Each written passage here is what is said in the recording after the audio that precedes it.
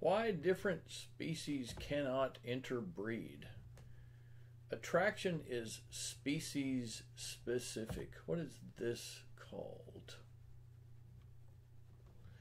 A nocturnal animal might not encounter a daytime animal. What barrier is this called?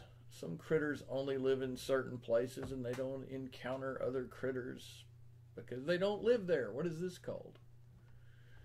The mating body parts don't fit together. What is this called?